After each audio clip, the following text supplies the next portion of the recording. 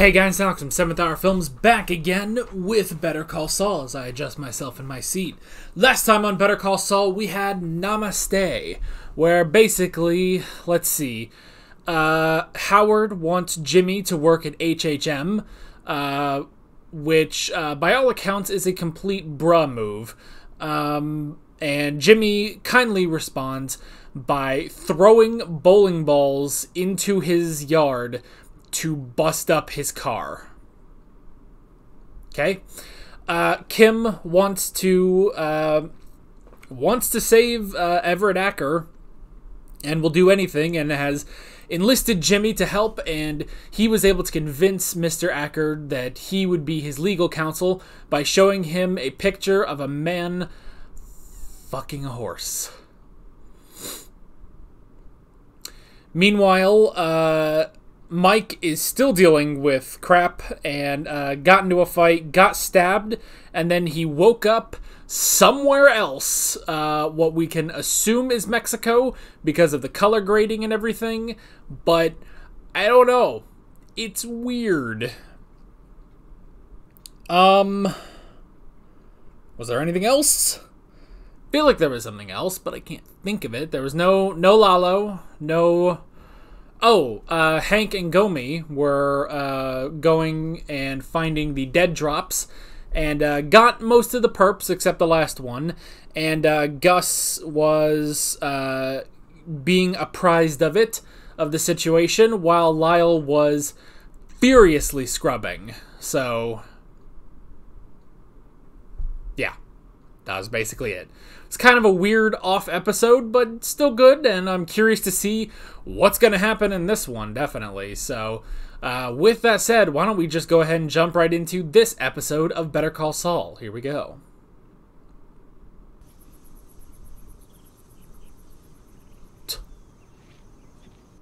I love that not only did they give the translation of that, but they also uh, they also put how many miles that is in the subtitle. That's funny.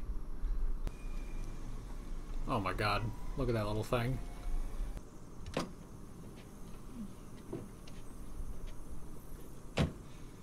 Oh hey.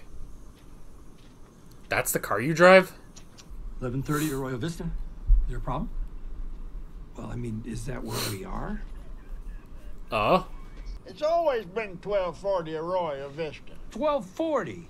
Uh, 1240. change some numbers. My client numbers. says it's 1240. 1240 Arroyo Vista. Come on, all we're talking about are some missing house numbers. Nah, but the lawyer I has a have to make a point. Oh, that's John DiMaggio. I literally saw his name in the credits, then I looked at his face like, oh, oh yeah, that's him. Once he yelled, I was like, oh yeah, now, now I hear John DiMaggio's voice. The lawyer Acker hired, it's Jimmy. Jimmy. You're Jimmy? He's Saul now. How did that happen? Jimmy's been doing some very aggressive marketing. Looks like Acker picked up on it. Nuh. That's a lie. Okay, so what? Although, I guess it was pretty aggressive. This fellow saw you for the killer you are, and he went and hired Jimmy specifically to take you away from us. Uh, Kevin, I, but how would he I know? say, I think that's very unlikely. Trust me on this, Kim. I know a scam when I see one. no disrespect. I'm sure your associate's more than capable. Dedicated to Max. Oh. Uh, Howard? Hello, Howard. Yep. Hi, Jimmy. Oh, the job. Oh. Oh, yeah. No, I mean, hey, I've been thinking of nothing else, really. Glad to hear it. Man, Any conclusions? Patrick Fabian's Uh, feet no, wiki points are really going up right now. Reflecting. um, Over here like this, and he says, Wait. He sits like that. Yeah, he's, he sits to the side. He's a side sitter. Nuh. I guess so. Okay, well, you never told me that he was a side sitter. And that is Does that? gold. Now go, go uh, on. okay. Okay, so he's. sitting I'm a half side and, uh, sitter right now, but that's just because of how I'm angled. I'm not gonna let him Wait, do the deprive. voice. I'm not gonna imitate him. Yes. Come on, give me a nibble. I mean, the, he's a good old boy, right? So do he talk like this? Uh, no. No. No. Ding dang do. It's It's uh, it's more of a it's more like lawyer comes in, crazy comes out. it's I pretty need good. That call center real bad. Of course, Kevin. Wait, are you being me? Yes, this is you. This is a weird role play. Okay, She is so I'm not confused. Gonna let him. Would you care to take a shower with me? Well, shoot. I believe I would. You okay? That was weird. Back to Mike. What the hell is happening now? What's going on here? Oh well, more John DiMaggio. So what about it, Doctor? Well, at a glance, I'd say these pieces are likely contemporary. Oh, Jimmy planted stuff. You're not going along with this. Seriously? It's the law. I have to make a call. Make a call. This sheriff doesn't want to do anything. Uh. Yo, I am so more invested in this character knowing it's John DiMaggio. Like, it's just fun. Steph, you're good with regulatory law. He's claiming there's a flaw in the original land grant from 1846. Pat, you better drop everything else. He's oh claiming our Oh prime contractor is an escaped felon. You can't be serious. And all of this, I assume eventually Kevin Wachtel's just gonna be like, it's not worth it. And Everett Acker's more than willing to let the to let Saul Goodman do it. What is he doing? What is this? Is he making a chemistry thing? Officer, radiation's borderline. We gotta Wow. get soil samples. Go make a call. Do I have to ask? I'm gonna have to, uh, you know. you know. Better safe than sorry. What? How? How? Who thinks? Who thinks of this? Mad lad. All of that. Damn it. How? Why would so many people go there? What if you don't build the call center? Or not at that location, at least. Ooh, and have Certainly, Rich you're holding all have the cards. idea. There's nothing to delay. The other side's the one spending money with no hope of recovering their expenses. That Hmm. Wait, so you give up. what? I understand there's a viable alternative site. You make the switch, and you've won. No, well. Wait. I, I'm glad that Rich is there to to use this. But it means giving up. Honestly, it means letting Everett Acker win. My dad did not raise me to run from a fight. Kevin, we're not I'm saying. not gonna roll over and let some low-life shyster bully me off my land. No offense, Kim. He's got one lawyer. I got a room full of the best there is. Here's what we're gonna. Well, You're gonna figure out a way to get them off my property. That call center's not moving one goddamn inch. shit, he's pissed. Yo, this is when you get a, you know, you're relieved of command. That's a terrible decision. There's always another play.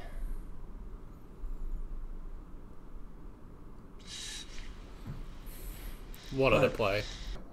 No, Jimmy, you bastard. You put an idea in her head. Or What's the other what's the other play?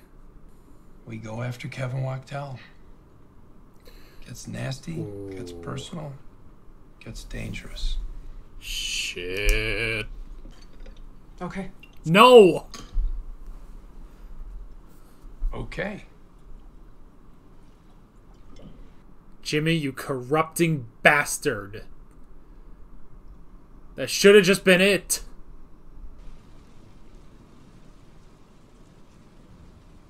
Oh, that actually looks very lovely.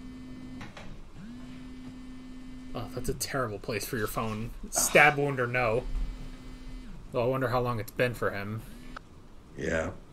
Hey, it's me. Yes, Uh. it is. Uh, this is not like that other thing, okay? Um, it's a straight piece of Oppo research. This is a lawyer hiring a PI. What do you say? So you're back to being a lawyer. Yeah, yeah, totally legit. So, uh, did I mention it's a paying gig? Not available. Say again. No. Dang it. Man, this would have been a great time to start that, but I mean, he's in Mexico. Oh, shit's leaking.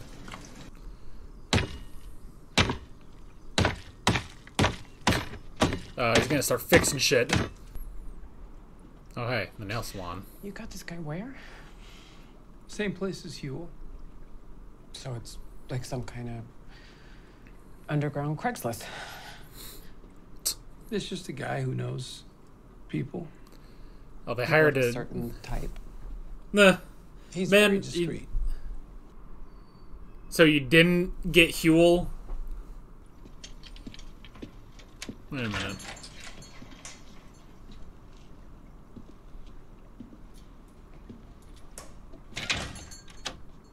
Oh, hey.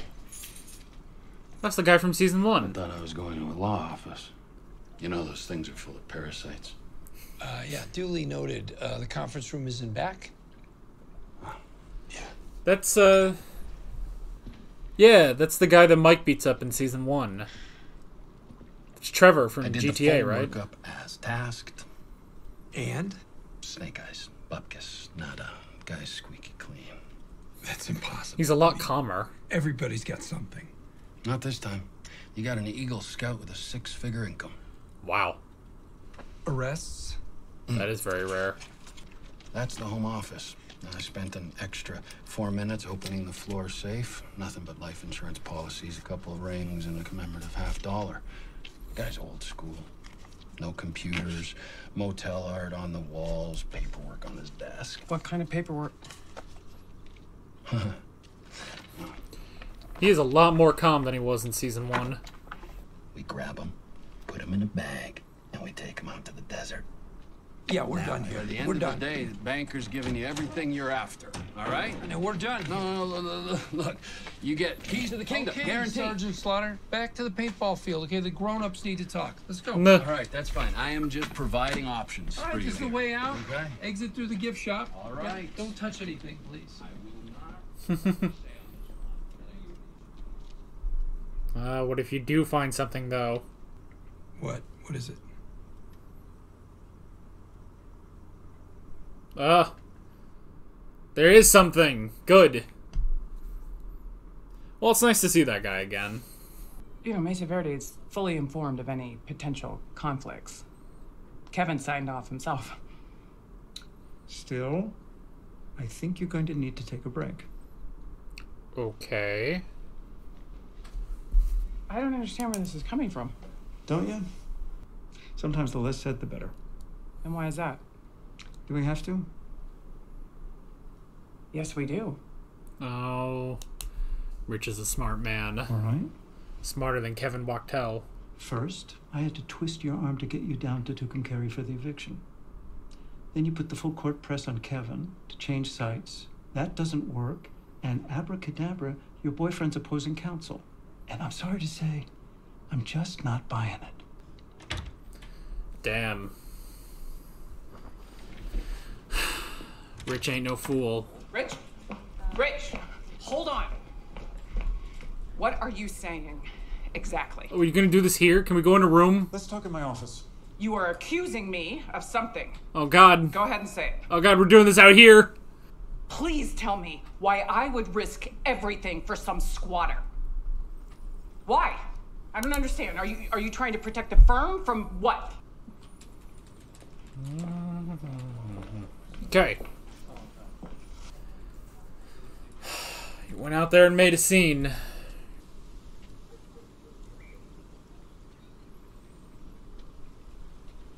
Uh, man, the thoughts that must be going through his mind seeing this. As far as the people here are concerned, I am the doctor's friend, nothing more. They have no idea you financed the whole place. I prefer it that way. The anonymous benefactor. Hmm. And is that supposed to balance the scales? Make up for everything else you do? Damn. It makes up for nothing. I am what I am.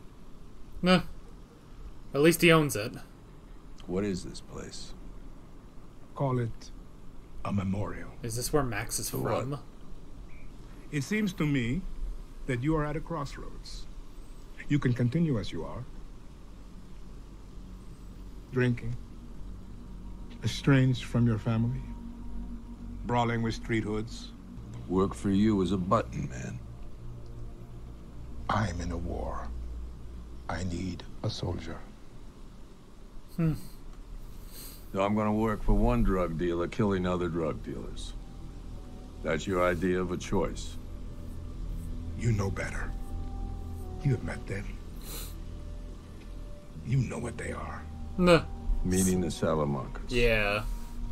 Lalo and Hector. You are and so very different from them. Why me?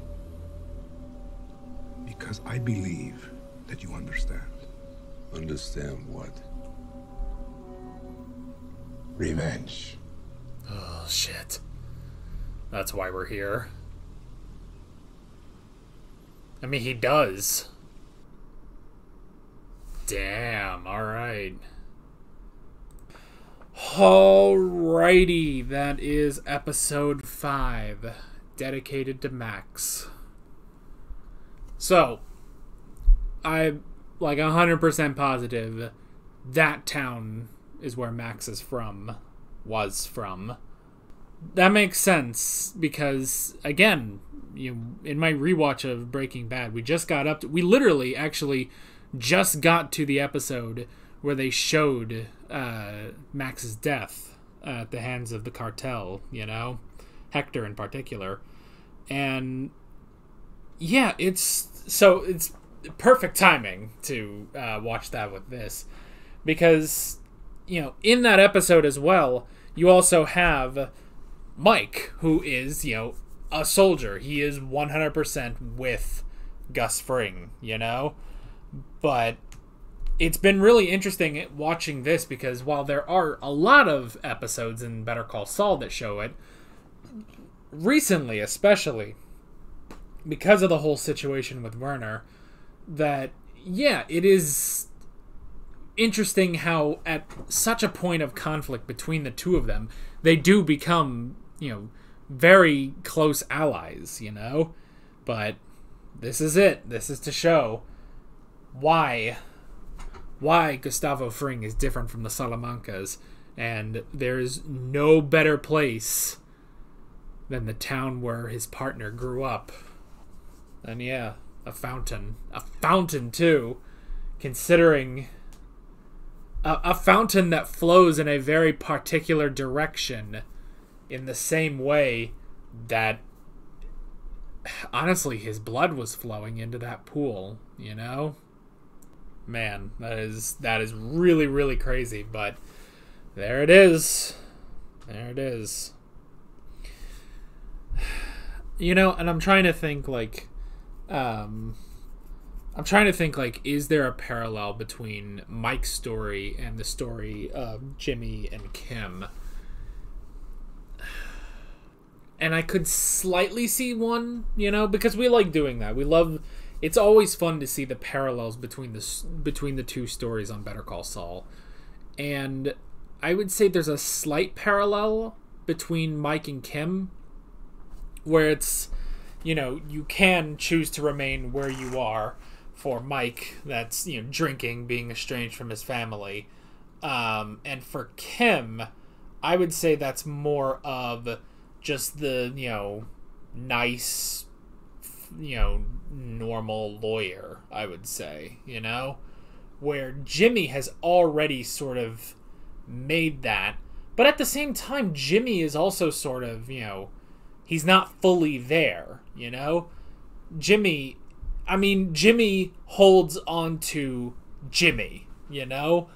Jimmy is still holding on to Jimmy, and as long as Kim is there, he will hold on to being Jimmy, you know? He has not fully committed to being Saul Goodman yet, you know?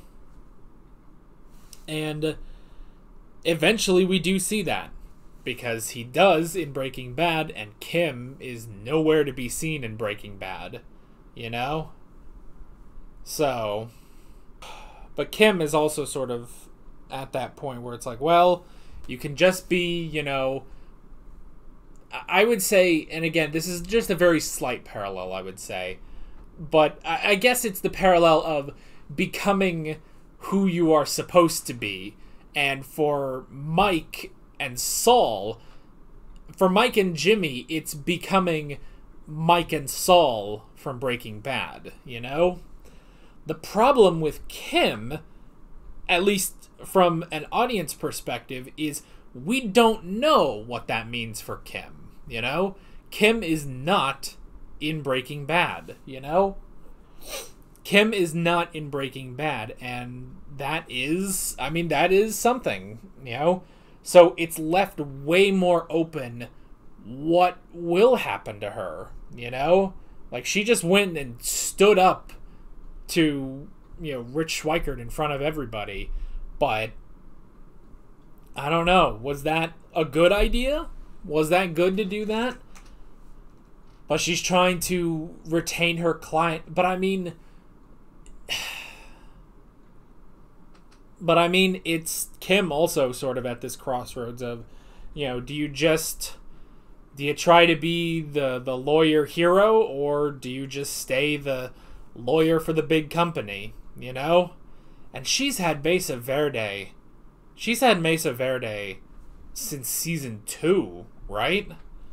It's been so long having Mesa Verde, but I mean it's it's hers. It's her client, but at the same time, she realizes that's not the work she wanted to do. It's the work that pays the bills, but not what she wants to do, you know?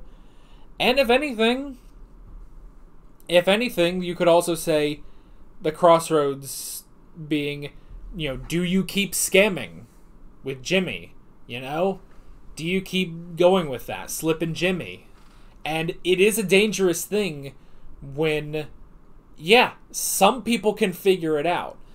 Where some people can figure it out. You know, Kevin Wachtel's over here like, well, I, I can smell a, I can smell a scam, you know, from a mile away, and it's like, you're literally getting the wrong scam. You are being scammed, but it's the wrong scam that you're calling out, you know?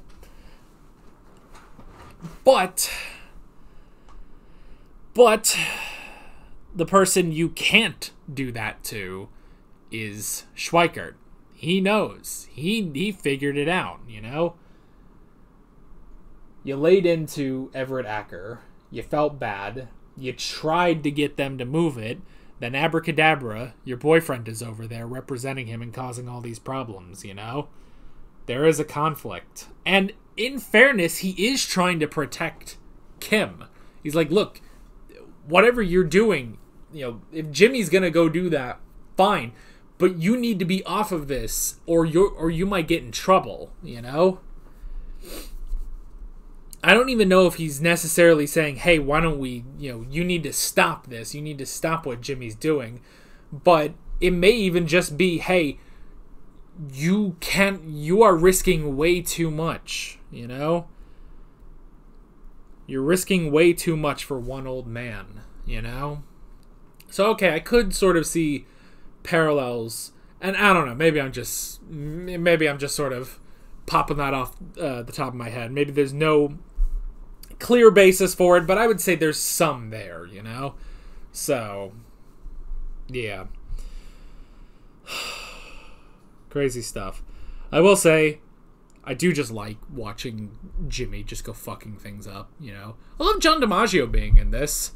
Like, you know, John DiMaggio, I mean, the what I would mainly know him from is uh, being Jake on uh, Adventure Time. But I mean, yeah, obviously, um, he plays uh, Bend played Bender on Futurama and everything.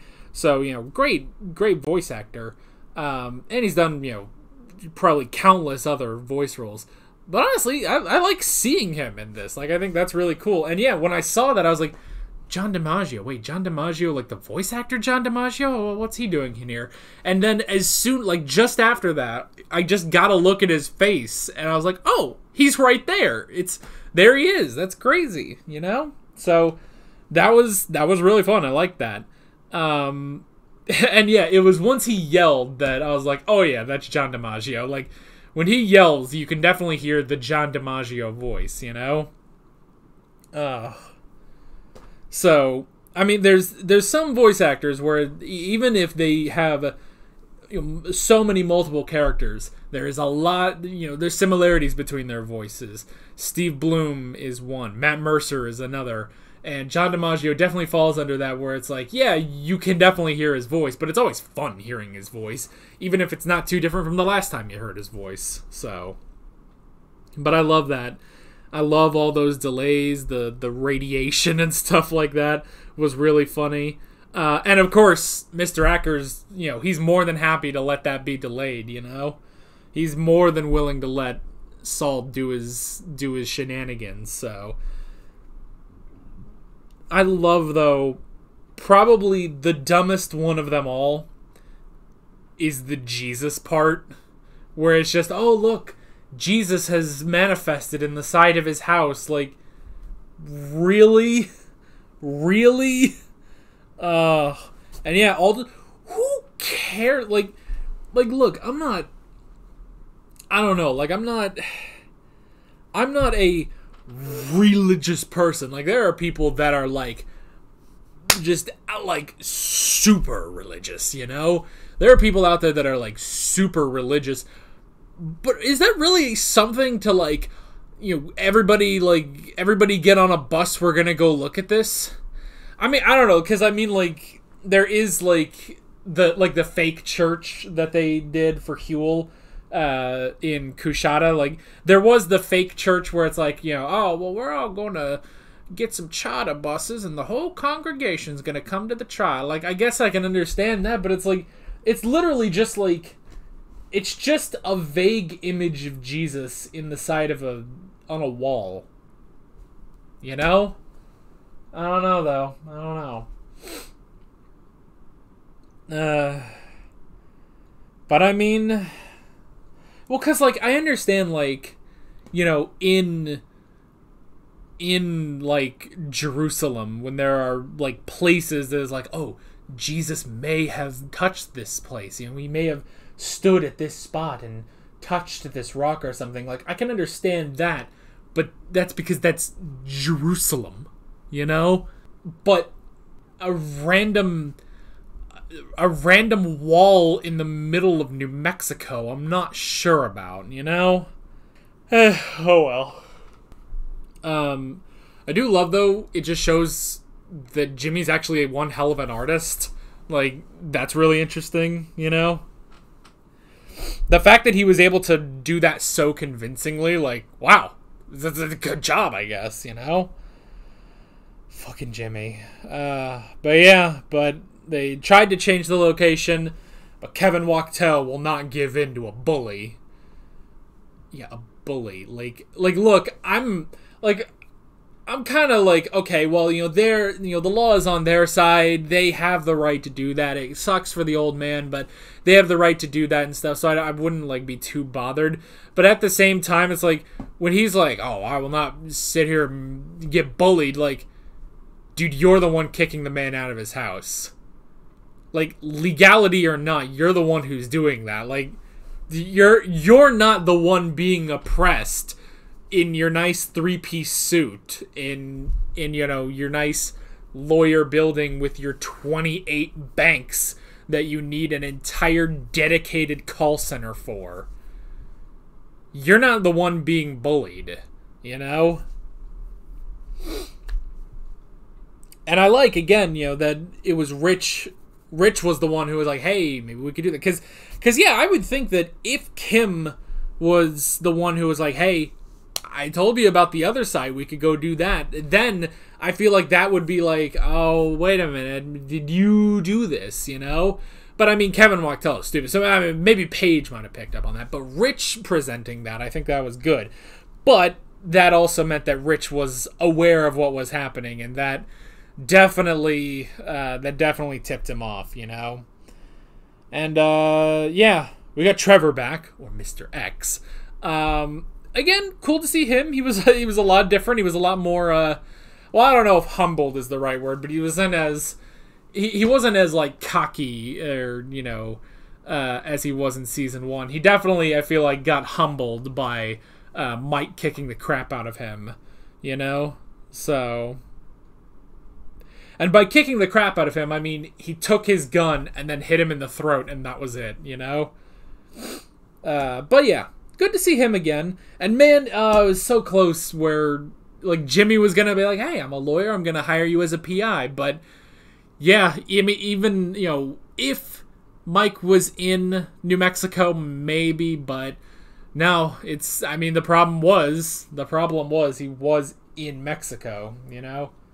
I gotta say though, that room, like that room with that window and just the rain and some distant, you know, soft thunder, like that's amazing. That has to be like an eight-hour video on YouTube, right? I mean, it has to be. I, I have I have like five of those saved in like a watch later playlist, uh, and I just cycle through them every night.